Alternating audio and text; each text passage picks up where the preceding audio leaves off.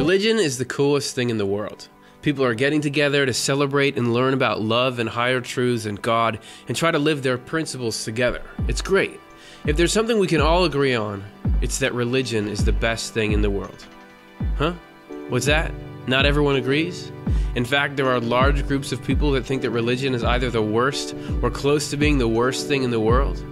And just about everyone, even people who like religion, has had at least one bad experience with religion or religious people. What's up with that? Was religion just a mistake from the start? Ironically, Swedenborg makes the claim that the Bible itself tells the answer. That very thing that so many people have abused for power has a covert warning about that very practice wrapped up in one of the most famous ancient architectural projects.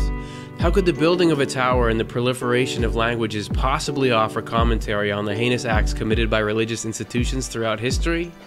Well, that's the Swedenborg experience. Stay tuned.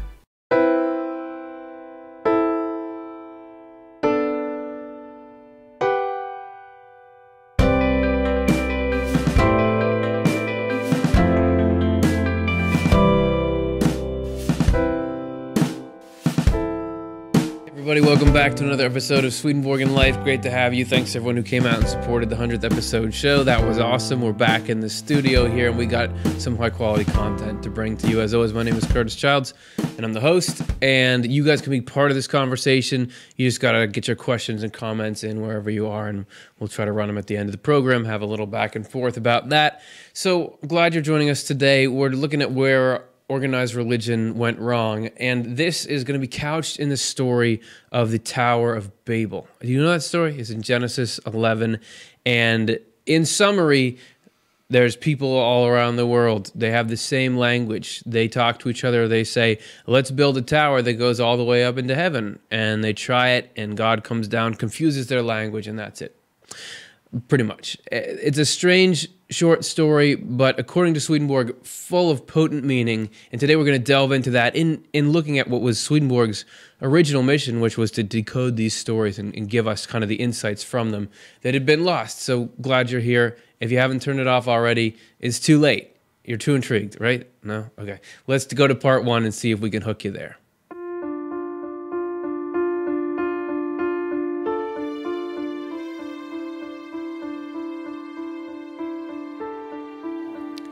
We're picking up this story actually just at the end of another episode that we did. There was uh, a sort of a series we've done of these biblical interpretations, and we did a, one about Noah and the flood.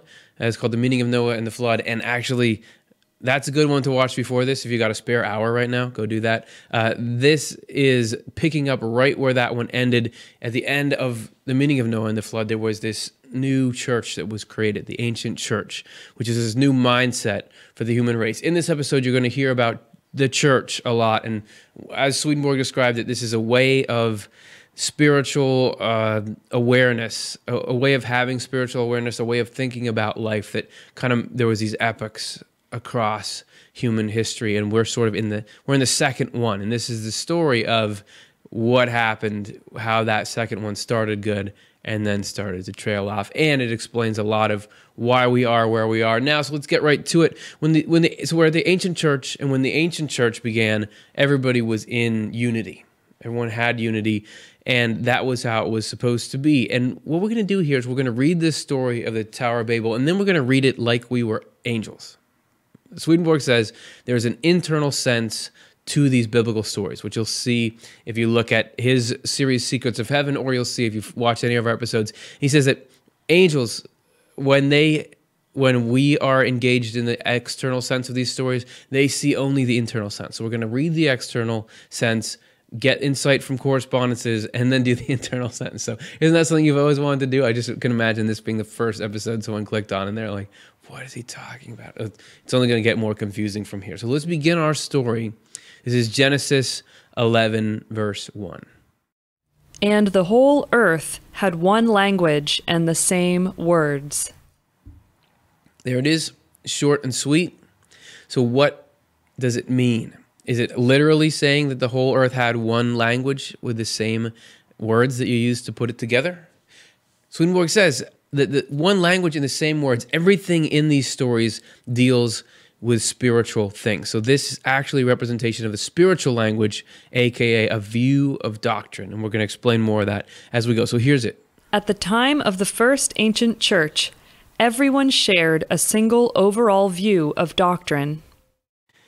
It may seem like these green strips are completely arbitrary when compared with the text, but if you read Sweden, where we're getting it from Swedenborg in his uh, series Secrets of Heaven, there is a system to it. So see what the meaning of the overall story is, and then see if you dig it or not, and if it could be feasible. We're starting there with this overall view of doctrine and this similarity, this unity in this group of ancient, the, the ancient state of the human race. He talks about this in Secrets of Heaven. This is 1284. He says the whole earth had one language meant that a single broad view of doctrine existed everywhere. A language is doctrine, the earth is the church, and the same words mean that a single detailed view of doctrine existed, which is what we said before. But he goes on in Secrets of Heaven 1285 to describe it more.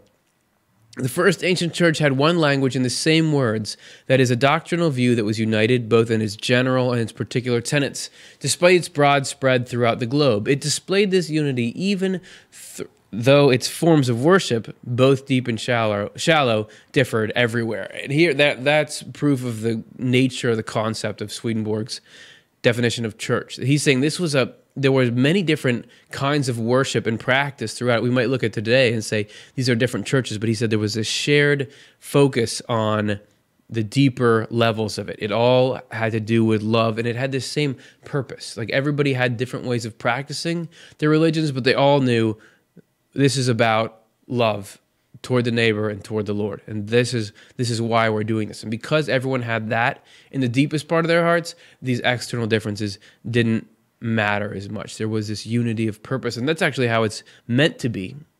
There's a, the, the state the human race is meant to have. And Swedenborg describes it further in Secrets of Heaven 1285. So here's a little. Heaven contains a countless number of communities, each of them different but still united, because the Lord leads them all as one. The reason they are able to act as one in this way is that heaven has a single stream of influence which each individual receives according to his or her own character.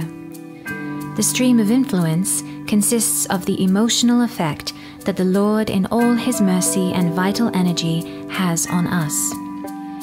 Even though there is a single stream, received in different ways, all things obey and yield to it as a united whole. This is the result of the love that heaven's inhabitants share so that's heaven. But how how can people with different practices and doctrines be united? What does that look like when there's a, a divergence in the way that people worship? How can that all be one? Well, that's just the point he was getting to. So this is a continuation of that same number. A doctrinal view is united when everyone loves each other or displays charity. Mutual love and charity bring such people together into one, despite the variety among them, because it draws unity out of variety. When everyone practices charity or loves each other, then no matter how many people there are, even if they number in the hundreds of millions, they share a single goal the common good, the Lord's kingdom, and the Lord Himself.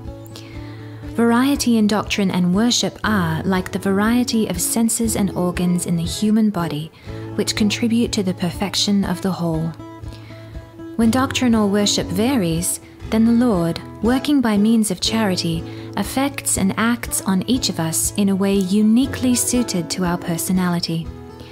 In this way, He fits each and every one of us into the order of things, on earth just as in heaven. Then, as the Lord Himself teaches, His will is done on earth as it is in heaven. And that that unity and that having the Lord as present on the earthly level as he is in heaven. That's how it was at first in this ancient church. There had just been this collapsing of humanity that represented by the flood, but people came out of that. God had established this new pathway. Everything was going really good, man. We were in great shape. Uh, however, it doesn't necessarily stay like that. But but for a little while, we had something really good. So let's focus on that. This is further about it. Secrets of Heaven, twelve eighty five. Uh, he says, Such was the case with the first ancient church. There were as many general categories of inner and outer worship in it as there were nations, and as many subcategories as clans in the nations, and as many specific types as there were people in the church.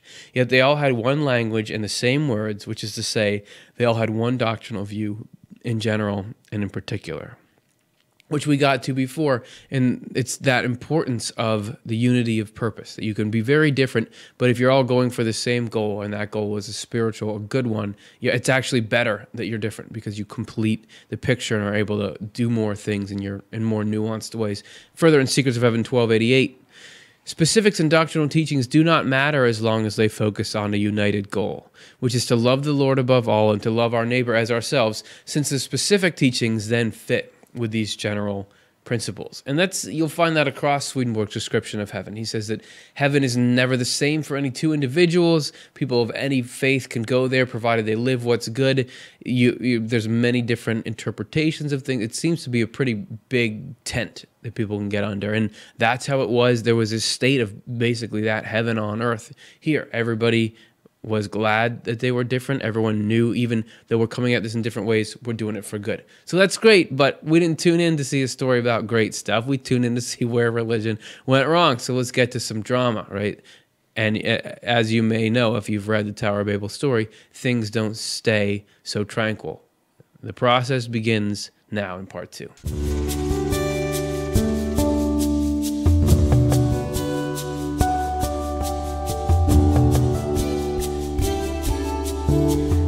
We have where the story begins to go bad.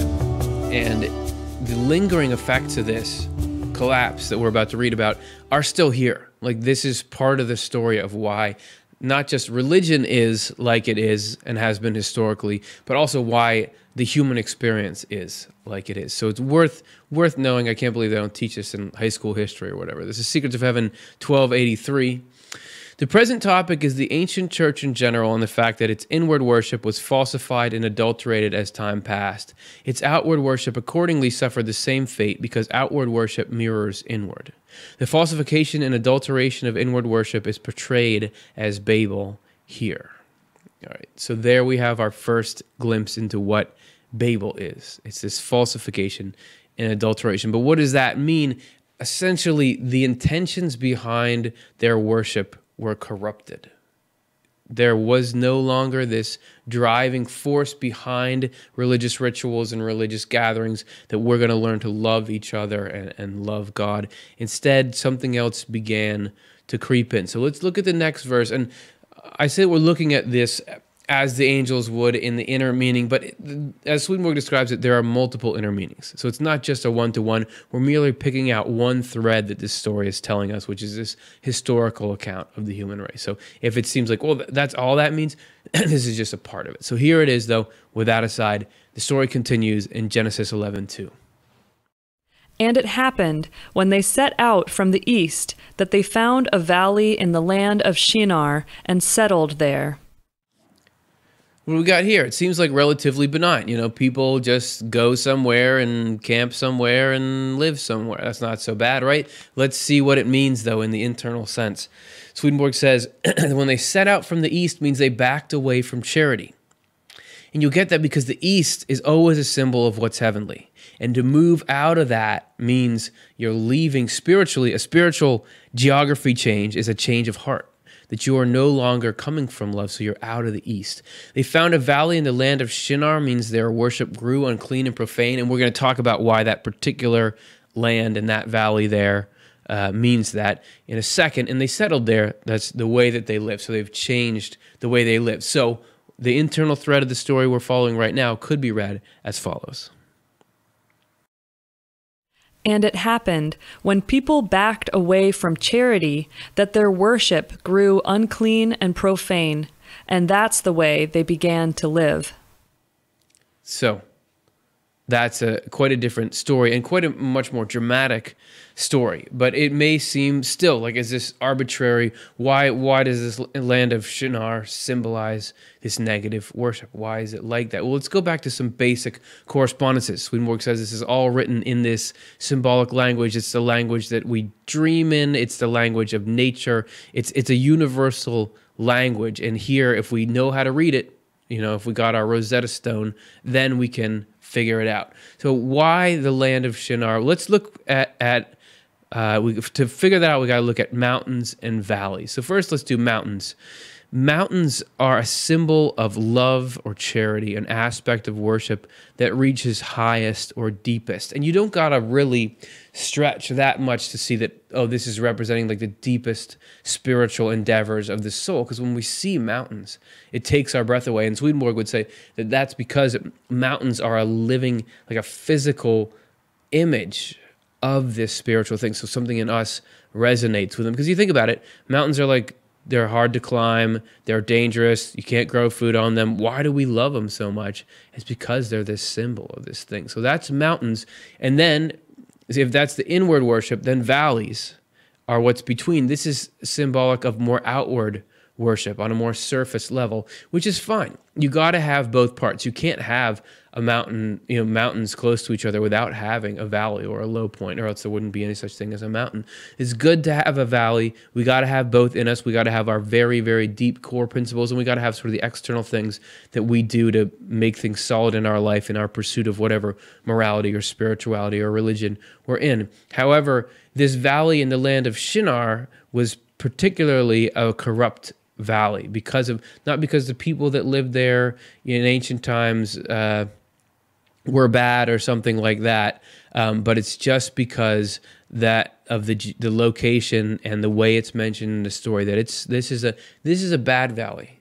We're in a bad external worship. And uh, for what it's worth, um, Swedenborg does not say this story happened literally. This is this is a this is an analogy. This is a figurative tale. He doesn't say these events actually transpired on this earth. He does say other parts of the Old Testament literally happened, but not this one. For what it's worth, just to stir the pot a little bit there. He talks about it further, Secrets of Heaven 1292.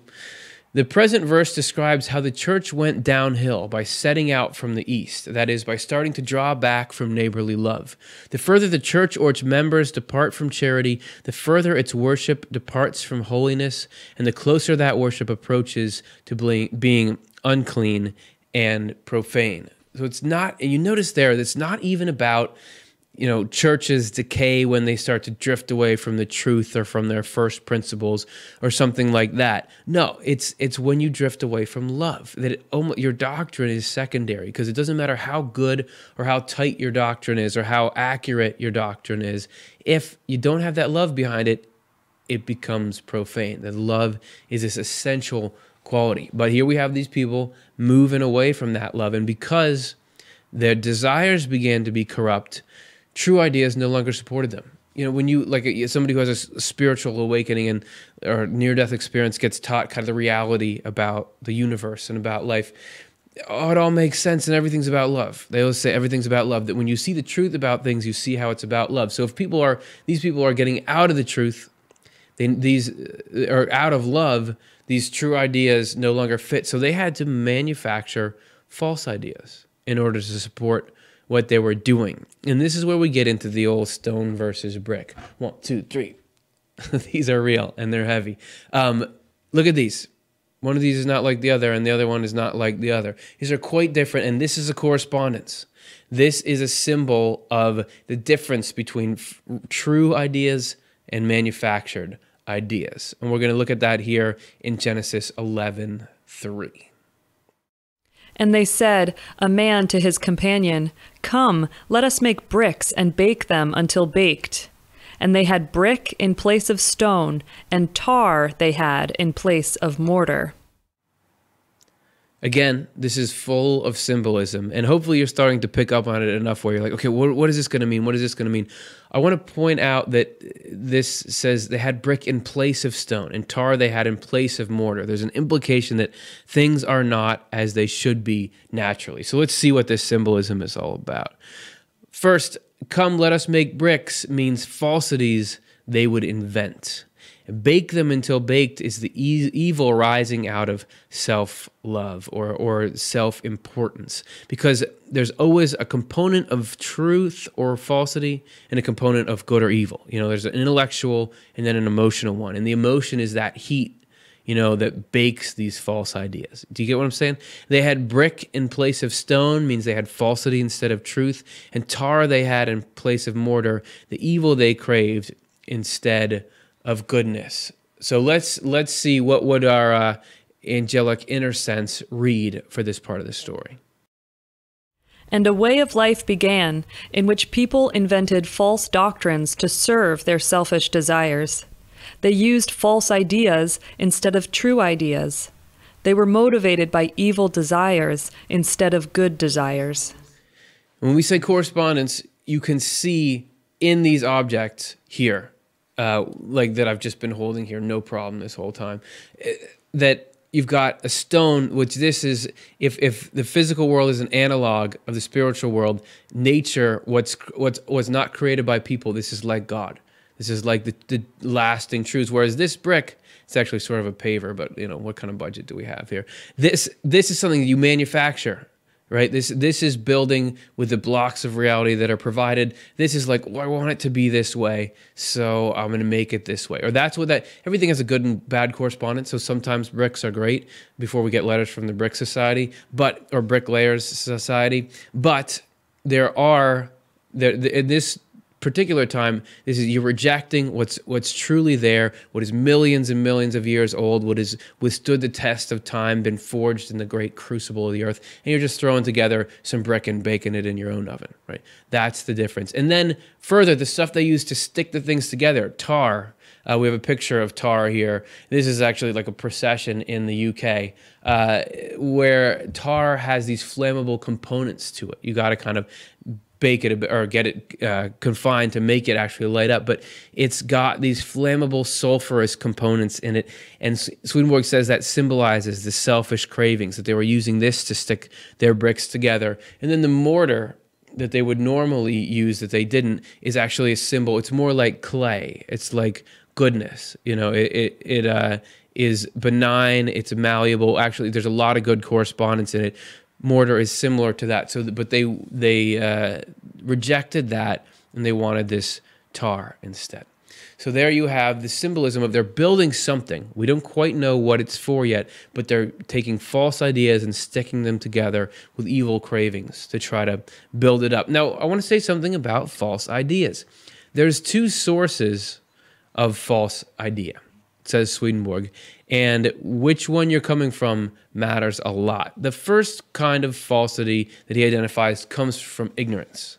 So this would be you know, we can fall into errors of ignorance as a result of if we were taught from childhood and onward something false. We were indoctrinated or somebody misled us. We, we pick up false ideas. Or everyday life is distracting us from inquiring into the truth. We're too busy to really look into a thing. Okay, so then we just hang on to some things that are readily available that aren't true. We can't really discriminate well between truth and falsity. We just don't have that particular wisdom in that area. So these are just these are just errors. These are just ignorance uh, benign ignorance. And Swedenborg says about this in Secrets of Heaven 1295. This kind of misinformation doesn't do much damage as long as we avoid entrenching ourselves in it with multiple arguments and convincing ourselves under the goading of some selfish desire to lend it our support. To do this is to thicken the cloud of ignorance and to make it so dark that we cannot see the truth. Essentially, it's if you don't know something because you just didn't know it or you were misled or something, it's not that big a deal unless you because of some foul aim like it's going to get you ahead of other people or you've staked your reputation on it you really really pull that into you it's not a big deal. And swedenborg says in the afterlife it's dissipated very easily if it's not already been dissipated in this life. However there's another kind of falsity and this falsity comes from corruption Falsity is corrupt when it's driven specifically by greed, self love, or materialism. And uh, as we've said in other shows, self love does not mean like thinking you're a good person, it means only caring about yourself. It'd be ego concerns. Um, when those are driving us to falsity, then that's a problem. And this that corruption was what we're dealing with here with these people in this story. So they were in the falsity for the bad reasons. And this is Secrets of Heaven 1295 that we're going to look at next, where he talks further about it. Falsity is greed driven when it starts with corrupt desires, or in other words, with self love and materialism. We might take up a certain tenet of doctrine, for instance, and avow it publicly in order to seize hold of the popular mind and become a leader. We might interpret or distort that doctrine to our own advantage, arguing from factual evidence and at the same time quoting from the letter of the word to confirm our views. Worship stemming from such behavior is profane, no matter how pious it seems on the outside, because on the inside it is not worship of the Lord, but of ourselves. Furthermore, we fail to acknowledge anything that really is true, except to the extent that we can explain it to our own advantage. This kind of worship is what Babel symbolizes. The case is different, however, with those who have been born and brought up into this kind of worship, who do not know what the th- that the thinking is wrong and who live a life of love for others. It is not so much the worship itself as the quality of the person worshiping that determines whether it should be described as profane. And the, we get, first of all, a caveat saying, you know, it's different case by case. But we also get a further definition of Babel, which is only caring about any kind of doctrinal tenet or any life law when it will favor you. So you're beginning to pull on it for its power. And that leads us into why were they building this tower in the first place? Why were, were this ancient group of people building this system of doctrine and thought in their mind? What were they after? We're going to look at that now in part three.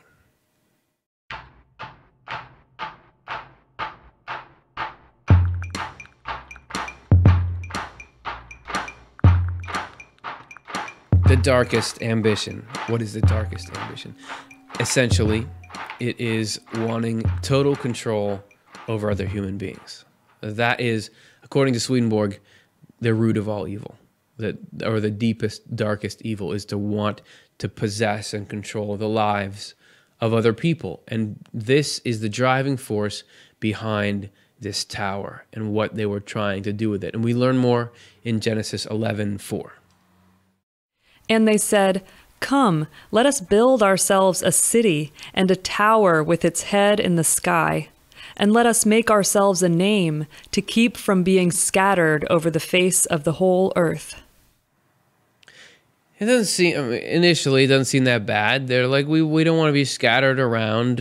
Let's just make a tower in a city. Nothing nothing bad about that. Externally seems pretty benign. What's the internal sense of the whole thing? So Swedenborg says, "Let us build ourselves a city and a tower." Means they made up their own doctrine and worship. So they fabricated this new system. There was already one in place, remember, but it, with its head in the sky, with the goal of controlling heaven, uh, meaning also the heaven inside people, that we can take that highest part in people and by telling them, oh no, this is how it is, we can gain control of them. Let us make ourselves a name means they wanted to gain a reputation for power. They're doing this essentially to set themselves up, or they wouldn't be acknowledged because they were seeing that this current system of everybody's all about love and everything that doesn't really favor us. So, reread, our verse looks like this. People decided to make up their own doctrine and forms of worship to try to gain control of everything, even heaven. They wanted a reputation of power because otherwise they would not be acknowledged. And the darkest of the dark part of that ambition with this tower is that they were looking to not just gain control of people, but to use religion as a means of control, to use religion as a means of power and not as a means of love and of connection to God and everything it's supposed to be. But this is how we can get people to do what we want them to do. Swedenborg talks about this in Secrets of Heaven 1304. The nature of religion is such that when charitable love for our neighbor disappears and love for ourselves replaces it, we disregard what faith teaches, except so far as we can turn it to the purposes of self worship. We also despise everything holy in worship unless it benefits ourselves, and so unless it forms a part of self worship. All self love entails this consequence because when we love ourselves more than others, we hate everyone who does not serve us and refuse to favor such people unless they become our slaves. Not only that, so far as any restraints on us are loosened, we run wild, even to the point of lifting ourselves up above God. These are the things symbolized by the city and the tower. Self love and every desire that rises out of it is the vilest, most profane thing that exists and is the epitome of hell. From this, everyone can draw her or his own conclusion about what worship is like when it harbors such a quality inside it. Again, look at, uh, we had an episode uh, called The Good Thing About Hell. Check that out for a little more on this negative, this self love that he's describing. It's not like I said before, it's not self esteem, it is only loving yourself, is wanting yourself to be ahead of the rest of the world. So Swedenborg is making this claim that there are people who abuse religion and religious principles to gain power. Uh, but does that really happen? Well, who am I to talk about that? Let's see if we can get someone else in here with a perspective on this study of this this phenomenon that we're here describing as the Tower of Babel.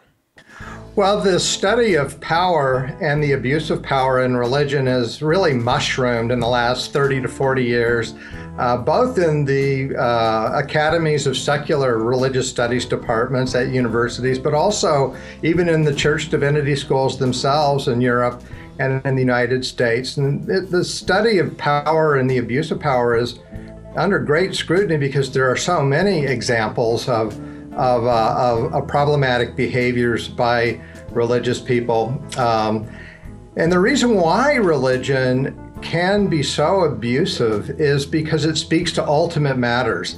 And it has narratives that uh, can claim a full allegiance of mind and heart and the subjectivities of, the, of its adherents.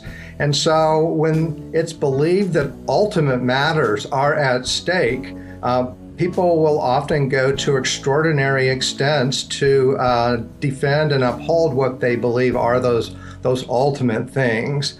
Um, however, there are other abuses of power that we can mention that are, are much more obviously uh, self-gratifying.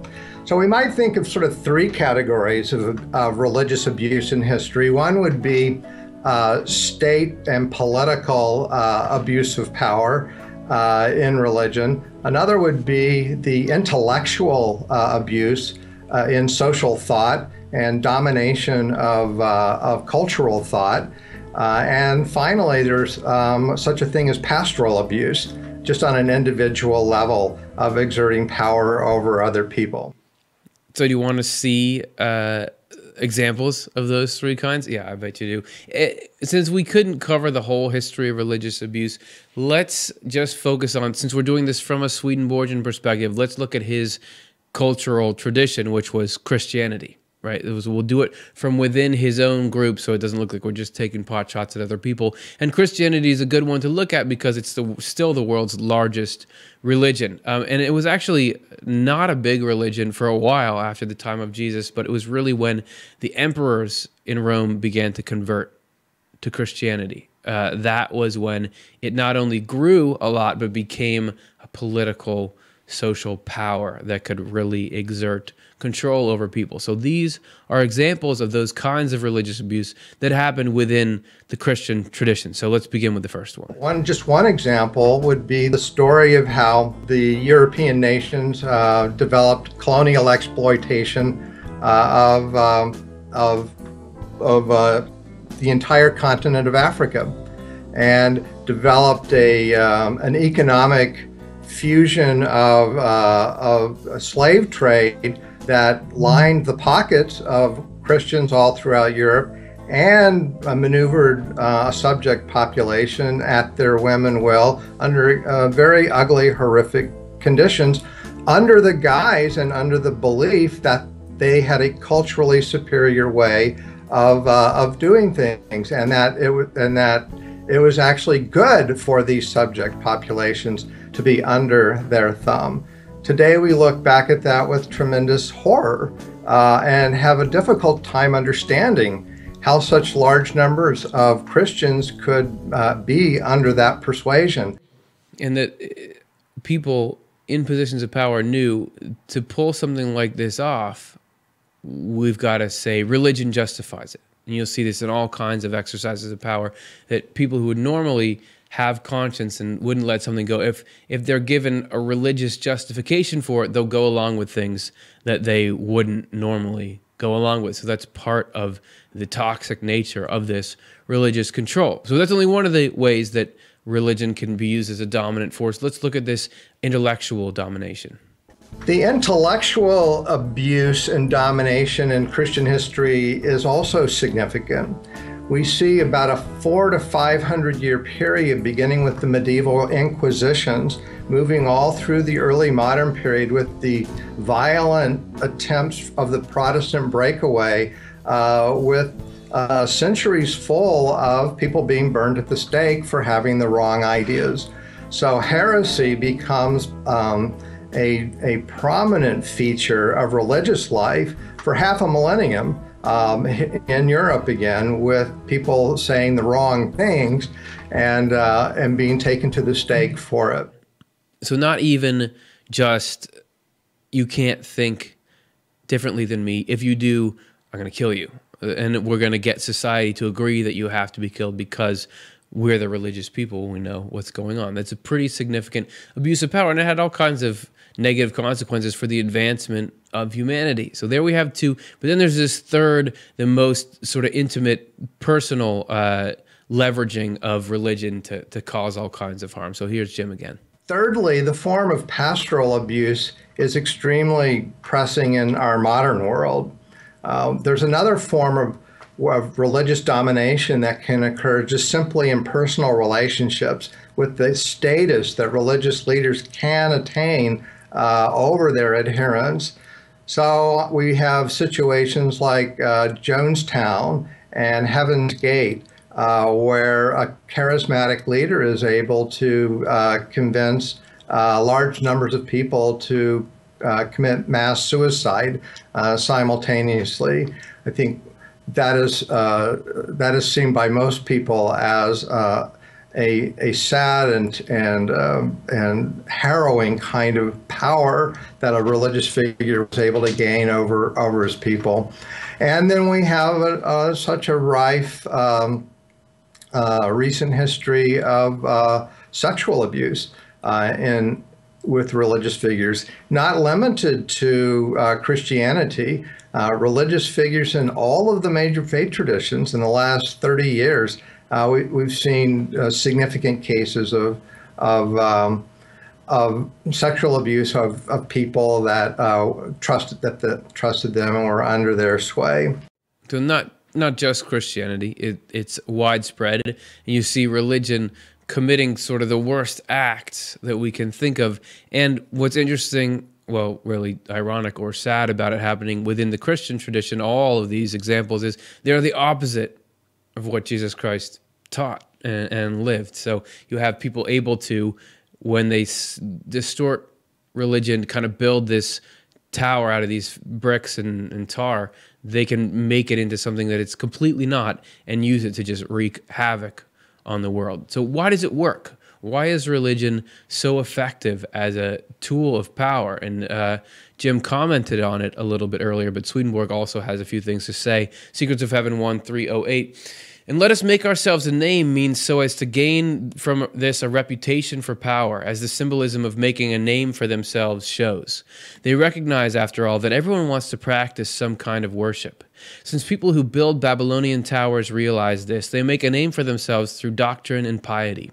Otherwise, they would be unable to win the adulation of others. This is symbolized by the very next clause, that otherwise they would be scattered over the face of the whole earth, or in other words, would not be acknowledged. From this, it also follows that the higher into heaven such people can raise their heads, the more of a name they make for themselves. Their domination is strongest when those who have a modicum of conscience, since with those who have a modicum of conscience, since the, they lead these people anywhere at will, but they have a plethora of external restraints for controlling those who lack conscience. So people who have something good in them, and they know, oh, I, I got to um, do, I got to follow religion, uh, they're the most vulnerable to this whole thing. And just in case you're wondering about these phrases here, this is Swedenborg metaphorical language. Building Babylonian towers, we're not talking about people who build literal towers. We're talking about people who put together false ideas with the intent of domination. And then when he says higher into heaven, such people can raise their heads, this is not literally into heaven. Heaven is not up, it's a state of mind. But it means the further that they can advance and pry into the depths of doctrine and religious understanding, to further manipulate the people who believe in it and to unlock sort of the mysteries that it, it does reveal about life and to use that uh, against humanity. And Swedenborg says that in hell, evil spirits are all about this. They learn correspondences, they learn these truths about religion so that they can try to manipulate. And it's just like you see on this planet, people will learn about how computers work and how the credit card system works so that they can hack yours. Uh, wherever there's a system, there's going to be people who are trying to exploit it. And we're trying to spread a little awareness so that you'll protect your religiosity just like you protect your credit card in one of those little sleeve things. All right. Now, we have people who are trying to accomplish this heinous goal, and you have the impact that that can have. So, is this going to be allowed to happen? Is there going to be some kind of effort to stop this tower from being built? Well, we'll find out in part four.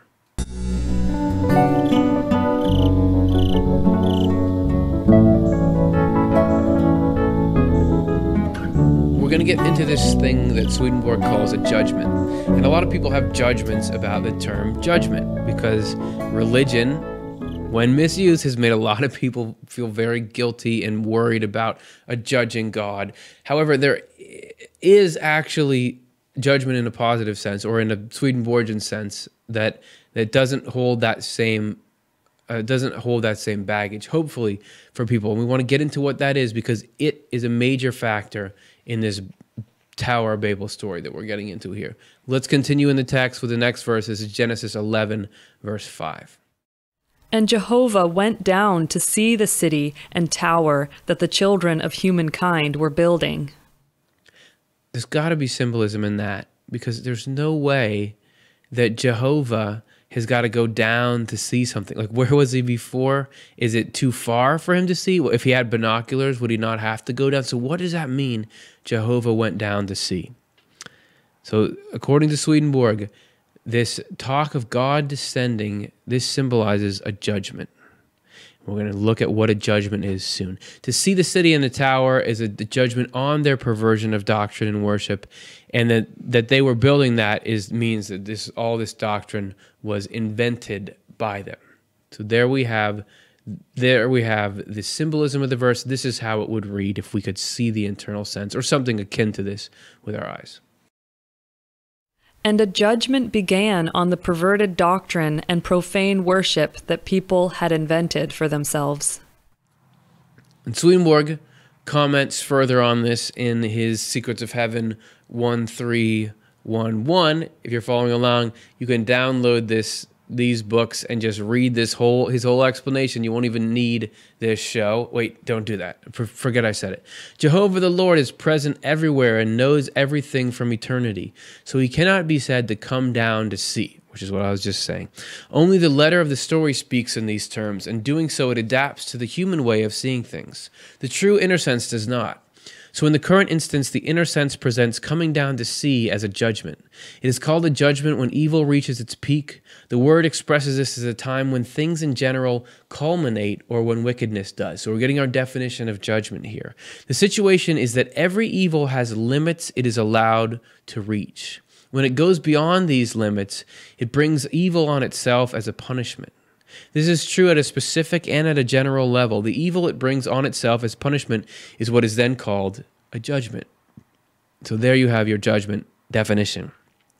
At first, it seems as though the Lord does not see or notice that anything bad is happening because when we go unpunished for the evil we do, we think the Lord does not care. The moment we pay a penalty is when we first believe the Lord sees, and we even imagine He inflicts the punishment. Is because of these appearances that then that the text says Jehovah went down to see, and you could see implied in there that uh, God is not doing this punishment. That that this judgment that we're talking about, it's a lot like the concept of karma. That what goes around comes around. That once you do enough stuff, you naturally call something back on yourself. This is the way it is with the evil, and it's like the physical world works. There's a there's a correspondence in the physical world. That there are systems here that when they reach a certain point, you know, they, they can withstand some abuse, but when they reach a certain point, something happens that's irrevocable and the situation has changed. And we're going to illustrate it here with the most elegant metaphor of all time the tipping chair.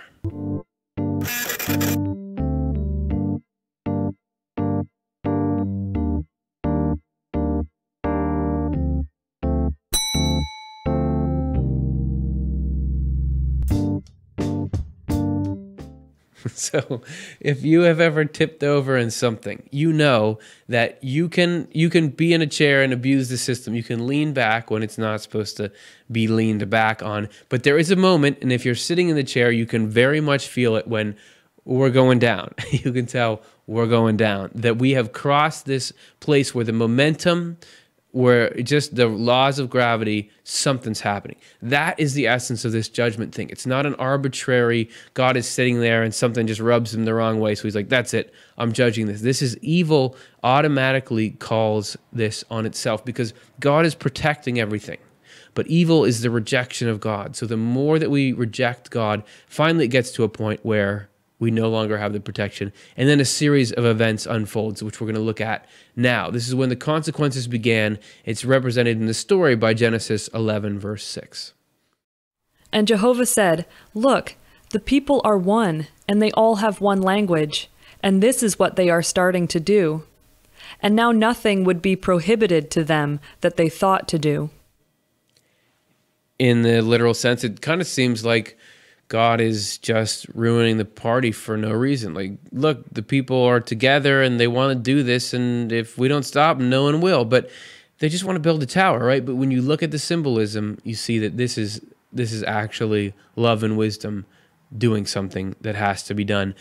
So the people all have this one language. Remember back in the beginning, they all had the same doctrine. And this is what they are starting to do means they're turning this one doctrine, this one thing that everybody shares toward an evil goal. And so unless their status changes, nothing is going to stop them from this aim. And that that's how that's how it is for us. Unless something interrupts our life, we don't let go of our goals. More on that in a moment. But first, let's look at this the people and the language being the same. And Swedenborg describes this in Secrets of Heaven 1316. We're going to look at, oh, oh, oh, first, before we get to that, I guess we should look at our, um, this is what the verse would look like as uh, as just the internal sense so that you, we're doing this so that you guys can hopefully have an easier time putting it all together uh, with the narrative so here it is People all had the same doctrine, and they were turning it toward an evil goal. They would keep pursuing that evil goal unless their conditions changed. Video.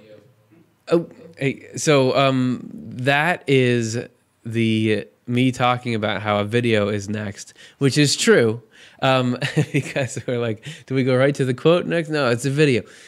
As I was uh, busy setting up before I forgot that we had that last little clip in there, there is this concept of the people and their language being all the same, which Swedenborg goes into further here of what this looks like and the downsides of it being corrupted. So this is from Secrets of Heaven 1316, and we're going to get a deeper look into what that all means.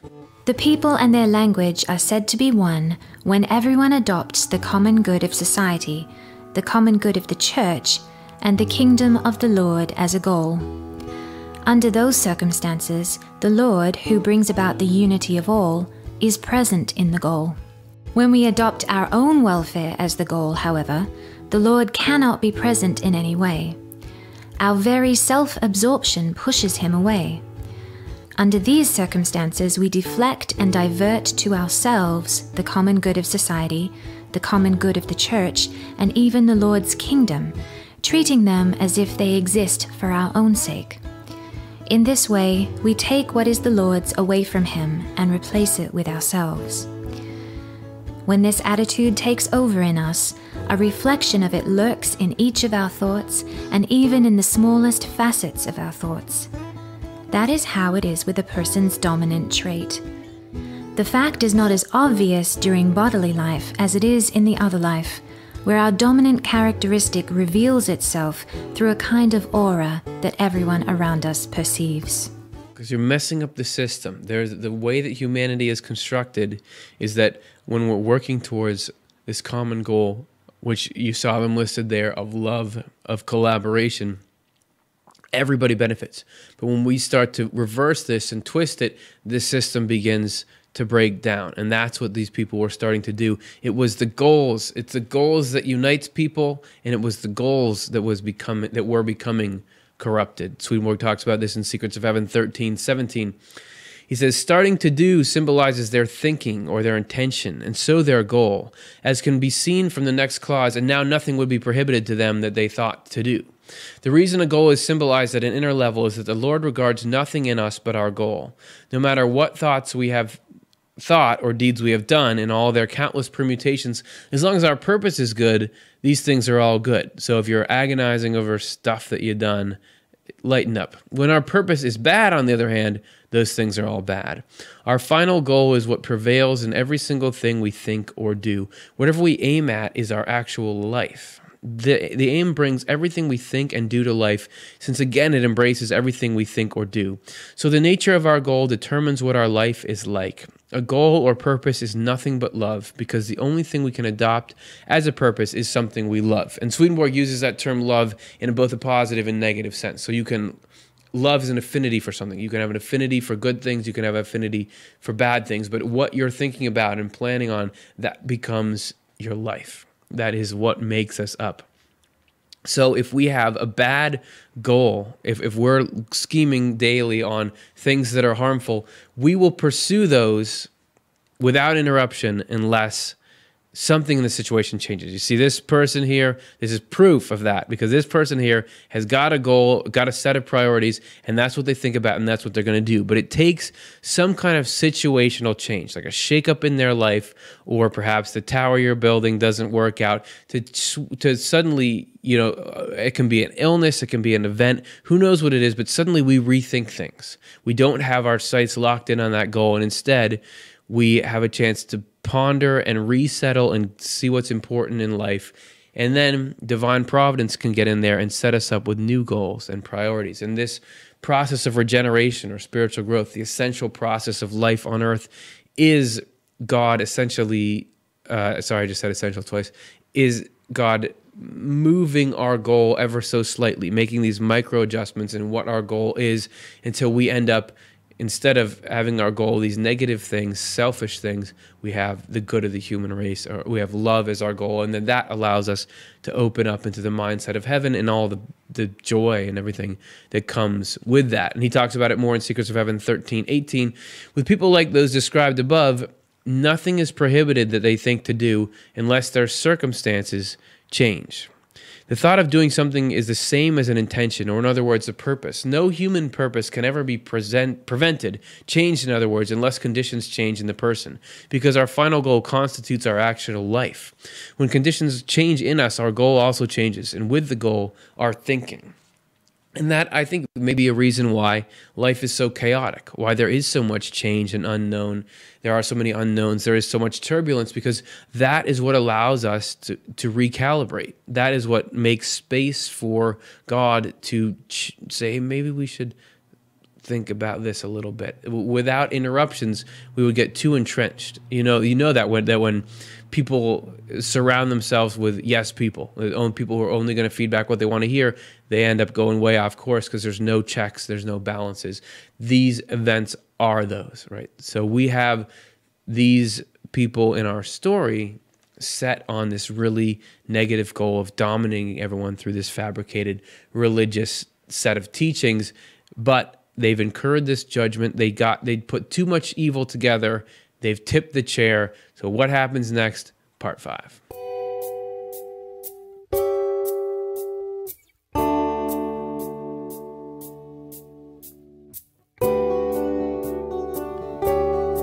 What happen what what's the effect of a judgment if if uh, you're you're part of that group of people and you incur a judgment on yourself? What are the symptoms of a judgment? The first thing is that th- that they and a lot of people lost their ability to know truth. And really the human race lost its ability to know truth on a deeper level. And this is described in Genesis 11:7 Come let us go down and muddle their language there, so that a man will be unable to understand the language of his companion.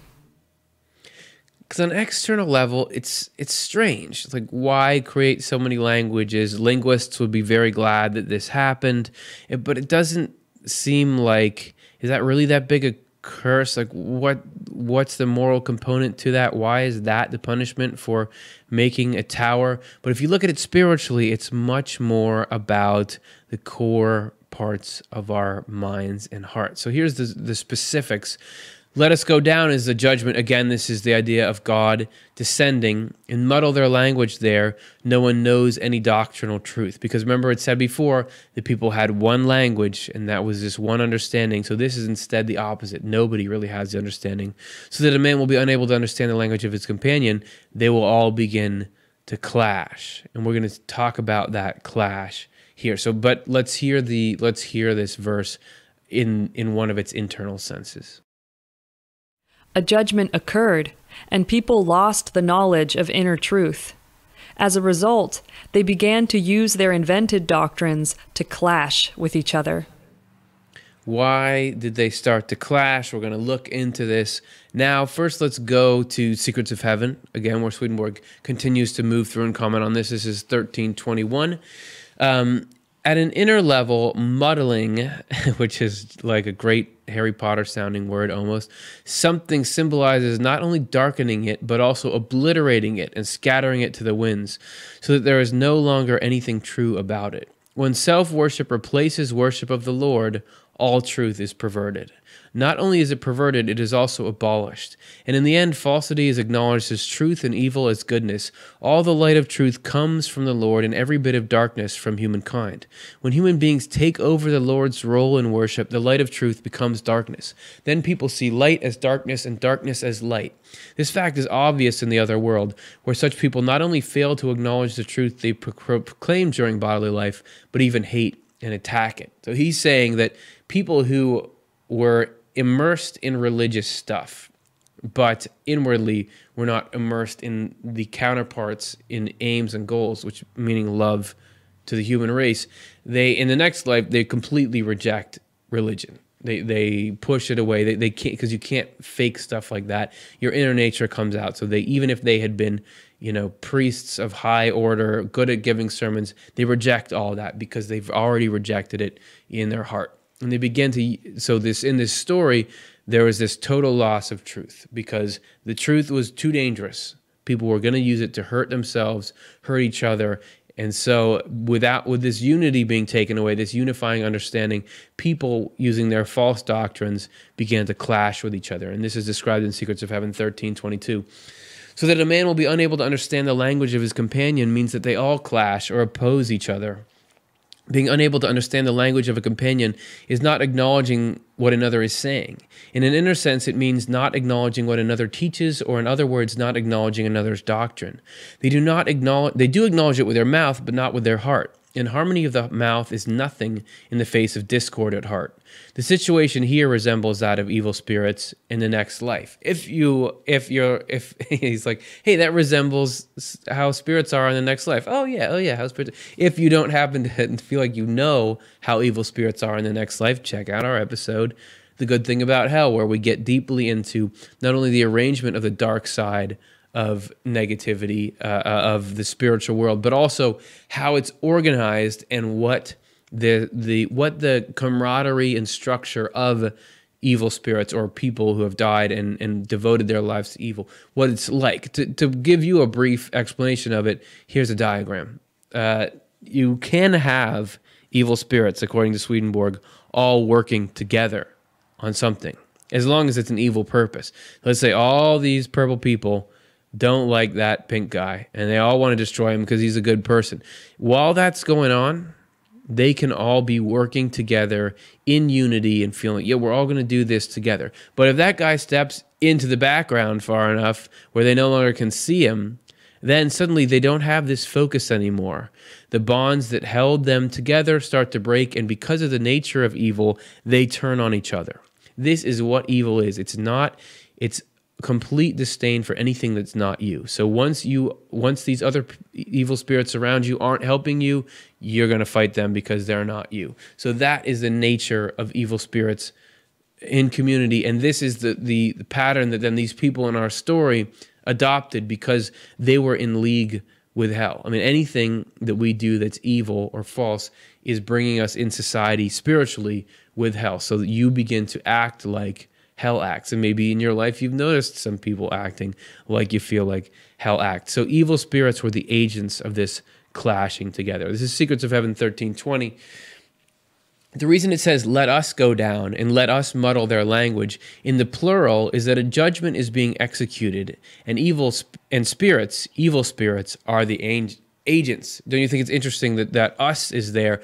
It's because the actual harm being done, like this, the people clashing with each other, God doesn't do that. God doesn't drive people to fight each other. Angels don't do that. Evil spirits do. And the judgment is nothing more than what I said before. There's this threshold where when you engage in evil enough, you the further you engage in evil, the further you reject God and God's protection. So once you push him away enough, you're no longer protected from hell and hell is of the nature we just showed. So they rush in and attack and that that is this judgment is the you lose the force field that you had around you. Hell washes in. You get all this this chaos but it's not quite chaos because divine providence is pulling the strings. Even though it's not god in there doing it god is looking and making sure that the only evil that's allowed is going to lead to good, that everyone's as protected as they can be in that situation. It's not like he just steps back and is like, well, you had your chance. And we're going to talk about that more in just a second. But let's continue with our story. This is Genesis 11, verse 8. And Jehovah scattered them from there over the face of the whole earth, and they stopped building the city. So there you have a scattering. This sounds like it's a dissipating of the thing, but what does it mean piece by piece? Let's take a look. Uh, the Jehovah scattering them over the face of the whole earth means they were not acknowledged. The result of this is they wanted to be, you know, initially acknowledged as greater than all people, but no, people rejected it. They stopped building a city means doctrine of this kind was not accepted because they began to fight and clash with each other. The the common people, the good people that they wanted to subvert, said, "Ah, no, I, I don't want this. We we we're not going to do this." So here's that verse in an internal sense. Those seeking total dominion through false doctrine were not acknowledged. Worship based on hidden evil self love was not allowed to continue in this ancient church. Well, and why would you want worship like that? to continue. It was for the protection of the human race that God allowed this plan to be thwarted. And it was protection for the people that those evil people were going to subjugate, but also for the people them building the tower themselves. The God is actually protecting them at the same time.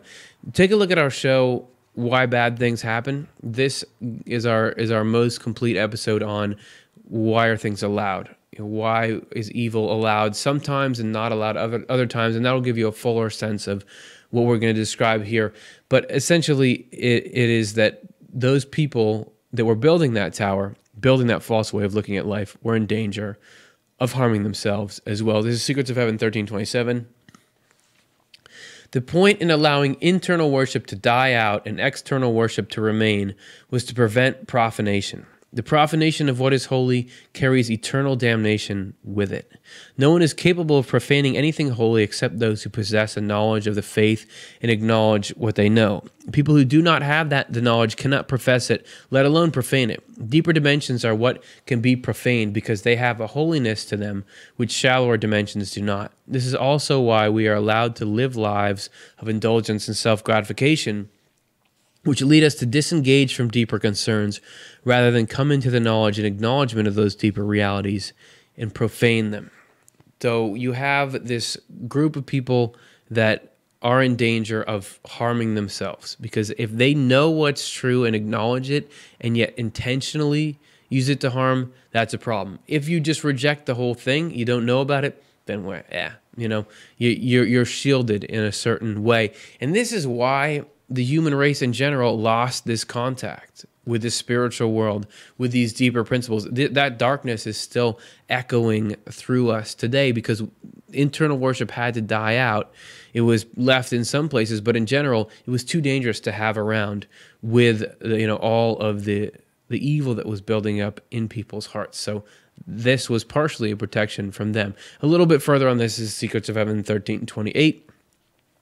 The fact that the first ancient church was stripped of what it knew about truth and goodness can be seen from the fact that most of the nations composing that church became idolatrous. Idolatrous people outside the church meet with a much better fate than the same kind of people inside the church. The former are outward idolaters, the latter are inward idolaters. This then is the reason the conditions in the first ancient church changed. Swedenborg talks about uh, people who have these who have what you would call idols that they they have figurines that they use in worship but that actually this is just a symbol that lets them think about deeper things it's it's good. It comes away as good swedenborg says. But if you if you are within the knowledge of what god is actually like and but you're in spite of that you're actually worshiping material things then it's a problem. You know it's it's only this mixing of the deep knowledge uh, with evil and with twisting that really is this profanation stuff. However, if you're worried that you might have committed profanation or are committing it, you're not. Um, because if you're worried about it, you, you, know, that's already showing that you're not. Profanation is something that Swedenborg describes and people can get nervous about it, but it's not like you try to live well and then you backslide and you, no, this is like you understand everything, you believe it's true, and you completely do a 180 and are intentionally using that knowledge to harm people and doing that habitually and long term. It's not something you just fall into. And as we're seeing here, it's something that God works very, very hard to prevent. He, he let this whole church die out rather than letting those people profane themselves. So you're probably not doing it. That's what I'm going to say. So let's look at the very last verse here uh, in the story that we're going to read for today and see what the fallout from all this was. This is Genesis. For this reason, he called its name Babel, because there Jehovah muddled the language of the whole earth, and from there Jehovah scattered them over the face of the whole earth. I was going to say this is Genesis 11 9, but you don't need me to say that. Computers have taken over my job. You can see that at the bottom of the screen. Let's look at this. For this reason, he called its name Babel. Name as a correspondence is means the full quality. When something is named in the Bible, it, its full quality is recognized. And whenever you see that, you, you, you hear so much in the Bible about the name of God. Why do people go on and on about it? It's because it's the quality. The Nate call on the name of Jesus. It's the quality. It's the essence of the thing. All right, so let's look at our at our um our piece by piece here.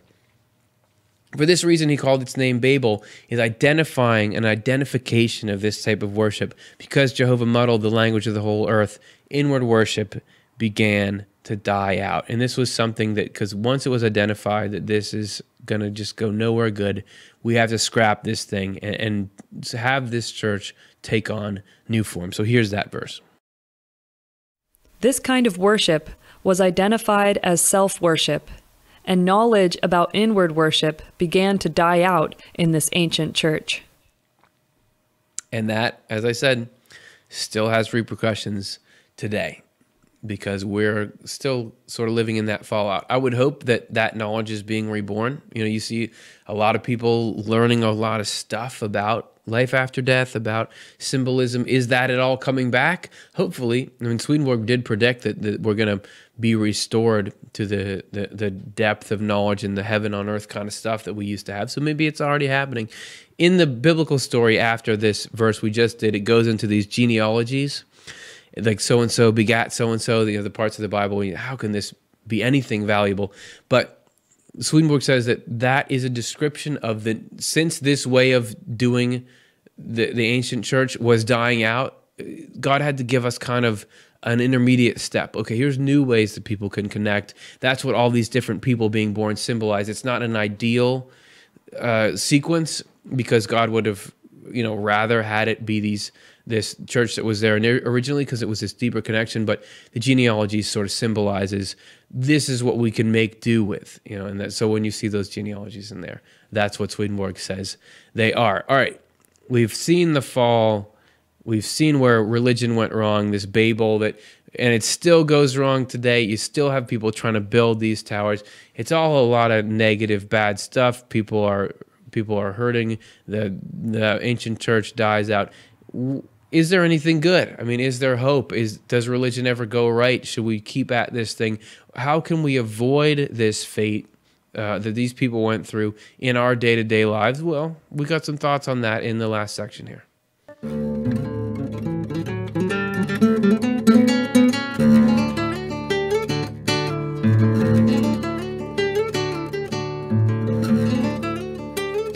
What's the alternative? What can we do to avoid the negative but bring out the positive aspects of re- religion? Well, one essential is is freedom, is the opposite of this Babel thing, and, and Dr. Lawrence commented on that a little bit more.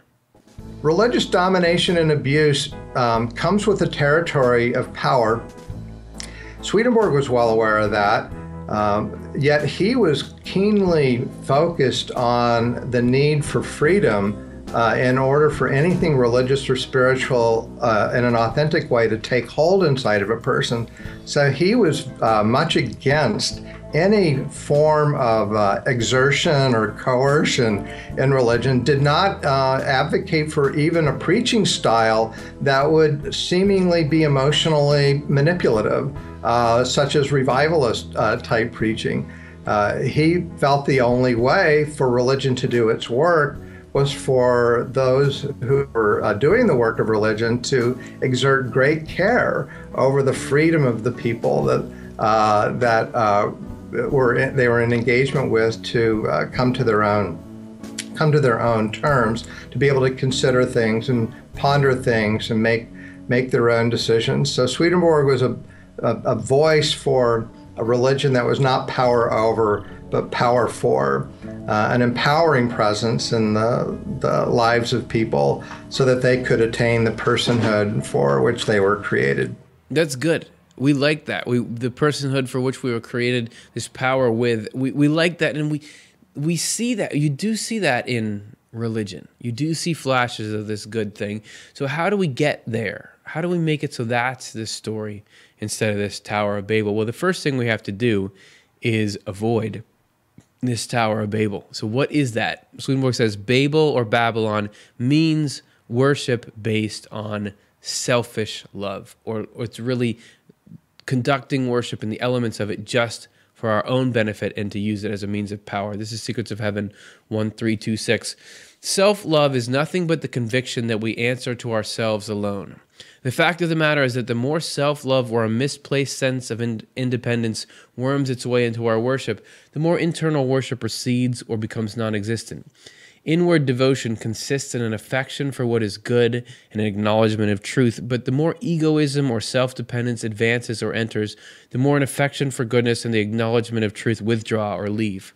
Holiness can never coexist with profanation, just as heaven cannot coexist with hell. The one needs to be separate from the other, and this is or that is what conditions in the Lord's kingdom and the way it is organized require. this is the reason why inward worship does not exist in those whose worship is called Babel. Instead, they worship something dead and even cadaverous that lies within. And what is that? That that worship is essentially the worship of our own needs over the needs of the human race. The Tower of Babel is this longing for dominion and for power. Uh, we need to make sure we don't build that tower. We're talking about this historical building of it, and it, you you see it built in organized religions and all the examples that Jim was mentioning before. But we can build this individually when we want to be dominant with our beliefs. When we try to control people, lord things over people, we have to make sure that we don't do that on an individual level within religion or otherwise. Just in life, we've got to make sure that we're not part of the problem. So, to do that, we made you a couple of simple how to and how to not videos. Let's begin with what we should not do. Let's say that we have an idea about God or an idea about ultimate reality and we treasure it and we want to tell people about it. If there's other people we run into, some of them have their own beliefs about God already, some of them are wondering, we start talking about our belief about God. So far, everything's fine. However, if we say it and they seem to not be jiving with it, that doesn't make sense. I don't really like that. It becomes a major problem if we start to get mad and you see our connection to God actually, as soon as we're getting this wrath about us, becomes all squiggly and negative.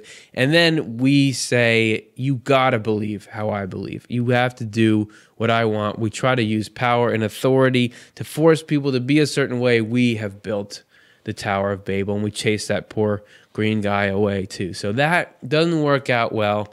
You probably feel like you've had some people do that to you in your life. But what's the what's the flip side of that? What's the good thing? Let's start the exact same way. We've got beliefs that these beliefs matter to us. They mean something to us. We've had experiences that back them up. We want to tell people about it. These people are listening, we tell. Now, a little bit of that does go in. They accept some of what we say. It affects their worldview a little bit, and that's great. But listen, they're going to want to tell us something too.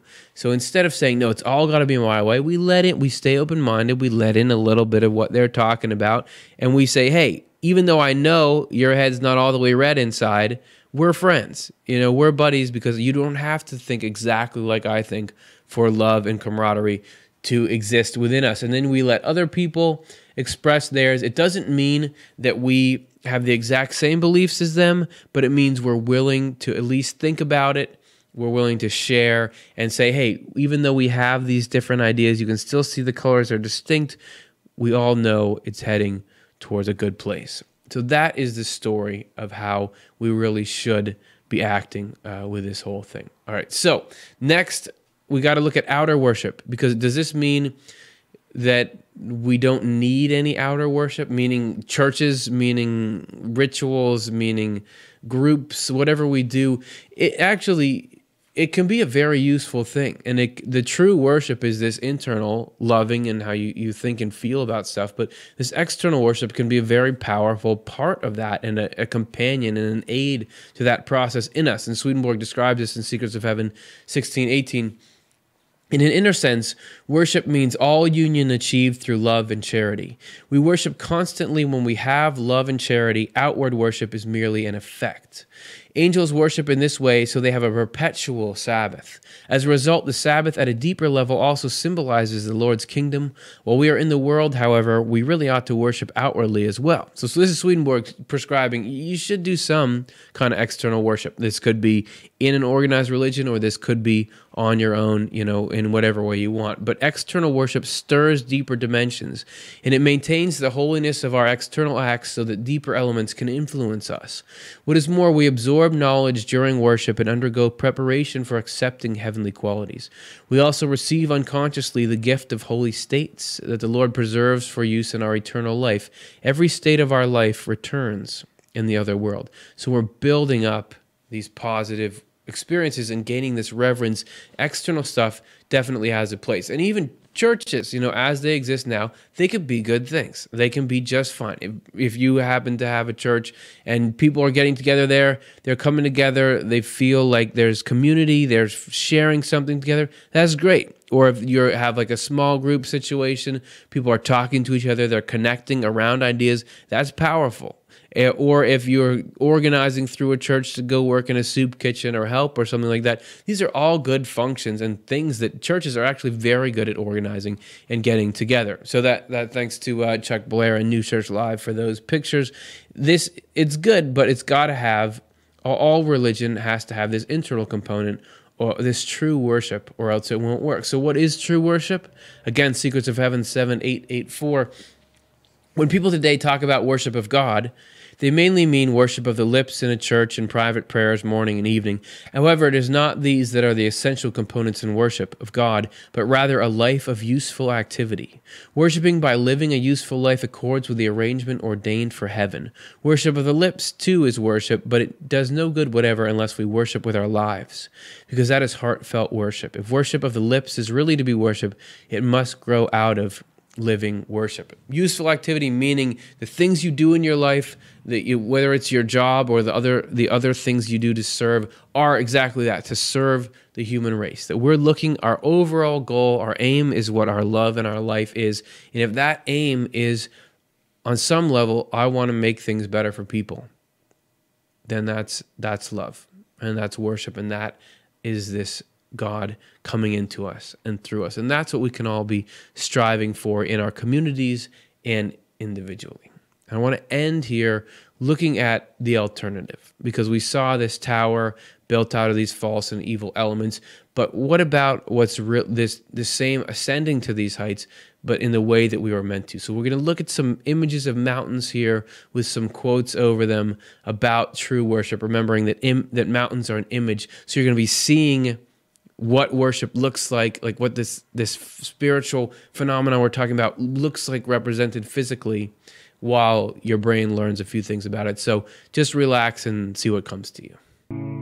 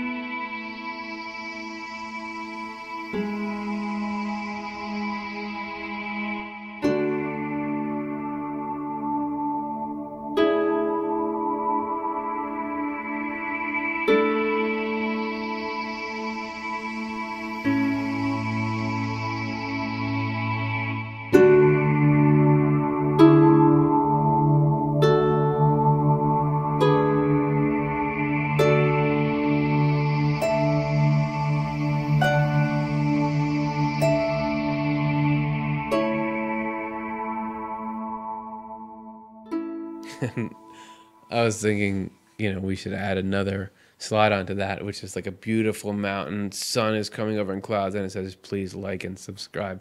But that would completely defeat the purpose, as I just did by saying this.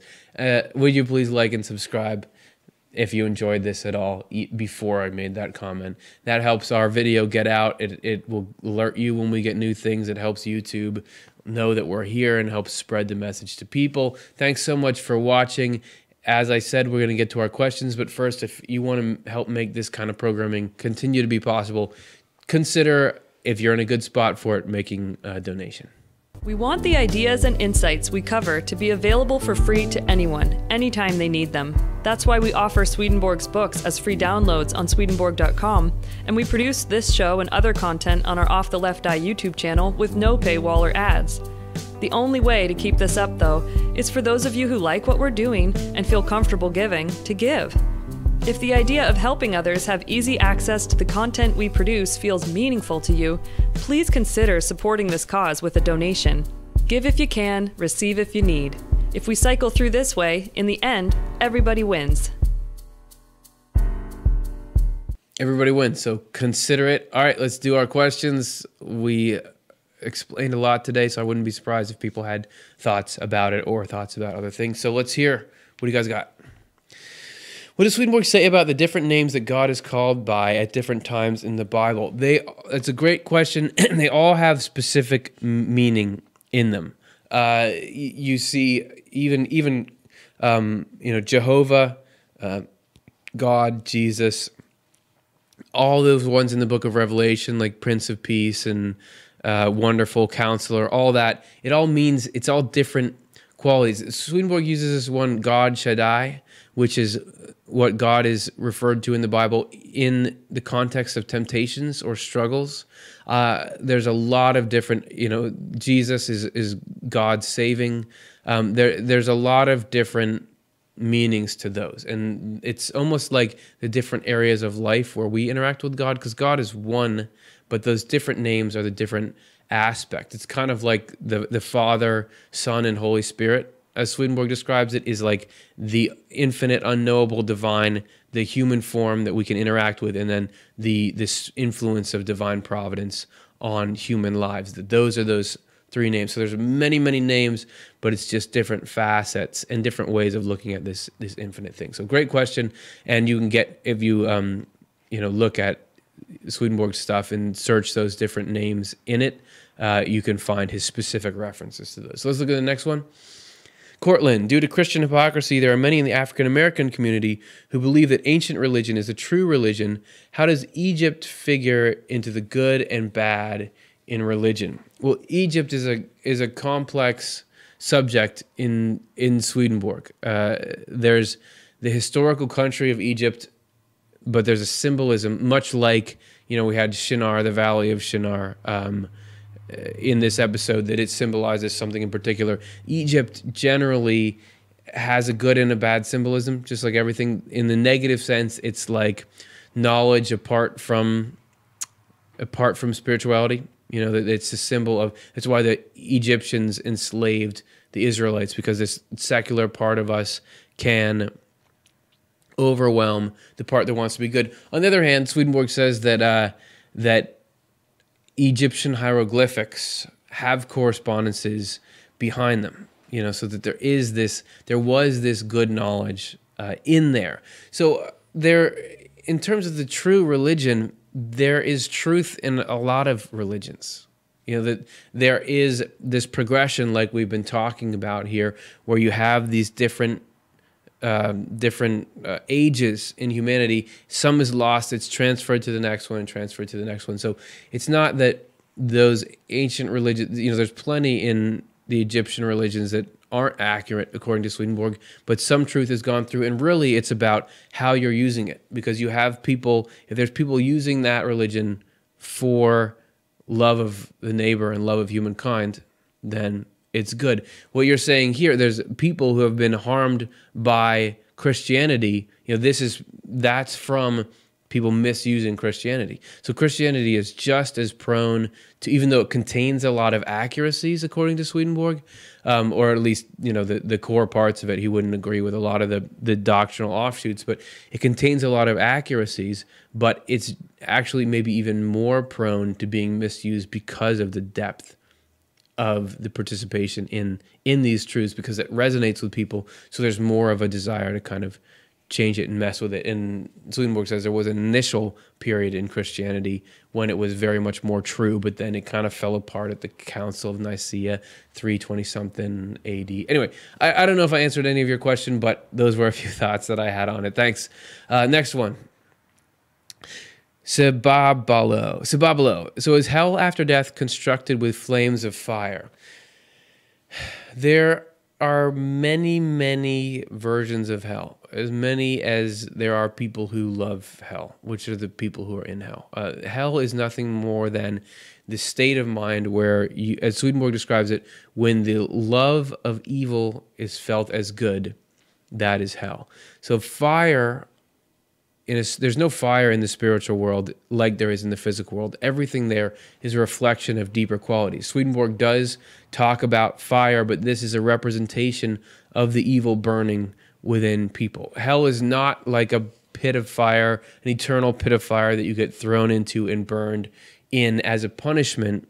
It is it is a state of mind where the evil cravings in you have completely destroyed your humanity. People in hell might think, oh, this is fun, this is where I want to be. But looking at it from afar and looking at it with insight, you see fire, you see these kinds of things as representations because it's reflecting that state. So it's a confusing question. Overall, no, there's not just one big lake of fire that you're burned in forever. It's people living lives, but they're just living dysfunctional lives.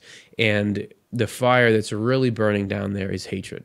I mean, that is what causes the misery and how people's hatred for each other, their hatred for truth, their hatred for goodness, their hatred for God. So that's that's the fire of hell. And see our episode, The Good Thing About Hell, for a more complete description of the nature of, of hell, uh, according to Swedenborg. Thanks for the question. Next one. Francisco, what would our names what would be our names in heaven? Would it be the same as here or will it be different? Different. Or that's what I've heard um, people ha- who have had experiences contacting the other side uh, say that they've heard different names now for people that they know.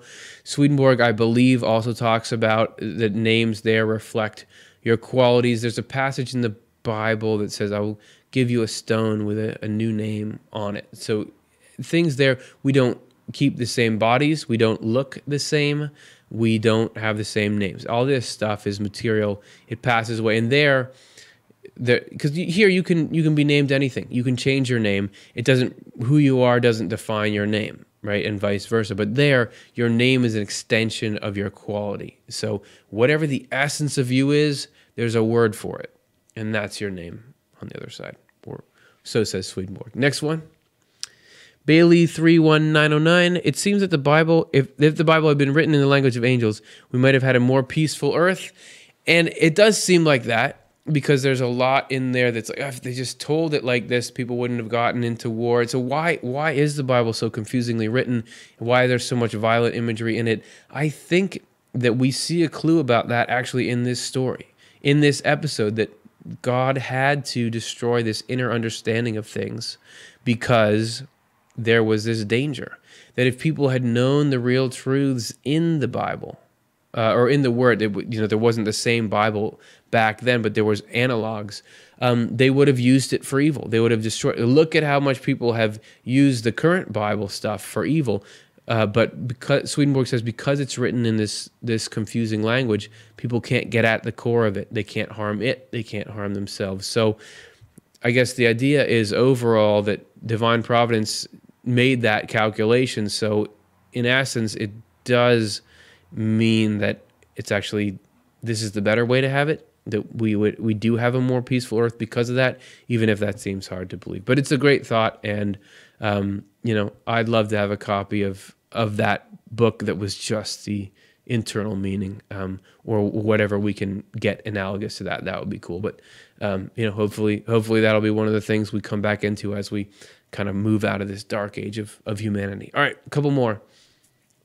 Mike, hey, do you think I can still go to heaven even if I used to be skeptic about about it for at least 10 to 12 years? Absolutely. You there you know, nobody is caged by their past. It's what you are like now and it's what you do with what you have right now. If we're on this planet, we can still change. And also you know, there's fine reasons to not believe. There's a lot of, you know, as we said, there's all kinds of negativity in religion, so that makes people skeptical. There's there's a million reasons to be skeptical. It doesn't mean you're a bad person. Uh, God is not looking for revenge because hey, you didn't believe for a while. Doesn't matter how long. It really matters. Do we love people? You know, do we love people? And are we willing to be humble enough that if we do learn oh, actually, this is true that we we accept it. So you're going to be just fine, Mike. Thanks. All right, let's do two more. Joseph, is the Catholic veneration of statues like Mary against the Ten Commandments? It depends on why people are doing it. I would say for one Catholic, that might be a great practice, and for another one, it's misleading them. Because Swedenborg said it depends on the person. Why are you looking at that statue? You know, is it a rem- and Swedenborg just directly describes the situation. Some people will have a statue of Mary, and to them that symbolizes something. It's a connection with God. They like it. It, it somehow is actually helping them connect to God. For other people, that could be a hangup. It's a person by person thing. Overall, um, you know, there might be too much in that direction, but I don't know. I don't know. Um, it depends on what does it mean to you what do you mean? It's the intention behind it rather than whether or not you use religious symbols in the form of statues in it. So the Ten Commandments are on an internal level. It matters what you're thinking and feeling as you do it, or that's what I believe anyway. All right, one more. Elaine, if a person has a problem dealing with depression, will he, she have that same problem in heaven? I hope not. I was diagnosed with depression and I would love to uh, have fully kicked it by then. The way I understand it, depression is partially a physical ailment. You know, your your brain is messed up, and in in heaven, you don't have that same uh, issue because the spiritual body is is beholden to different forces in the physical body. But also, Swedenborg says all unrest is from evil and falsity, meaning the pain of depression is hell uh, messing with you.